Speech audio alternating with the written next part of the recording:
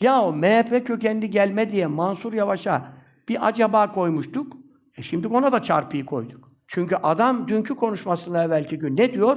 Artık İHA'dan, SİHA'dan bahsedilmeyecek biz gelirsek diyor. Ya İHA'dan, SİHA'dan. İHA, SİHA senin benim namusumu koruyor ya.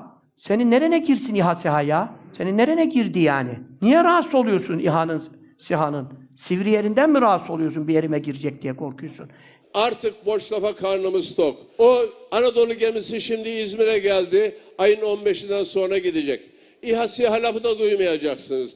15'inden sonra şunu göreceksiniz. Ülkemizdeki bu mülteci akını ne olacak? Mülteci deposu olduk. Sınırlarımız delik deşik oldu. Bu sorun ne olacak? Açlık, işsizlik ne olacak? 15'inden sonra gidip acaba ben bu faturamı nasıl ödeyeceğim diyeceksiniz. Çoluğunuz çocuğunuz bir şeyler isteyecek ama hep şu cevabı duyacaksınız. Konuşma be. Ben senden iyi bilirim. Gençler susun. Sağlıkçılar giderseniz gidin. Bu tarzı göreceksiniz. Veya gençler biz bütün ümidimiz sizdedir. Sizler bizden iyi yetiştiniz. Bizim size öğüt vermek değil. Sizden akıl almaya ihtiyacımız var diyen bir yönetim gelecek.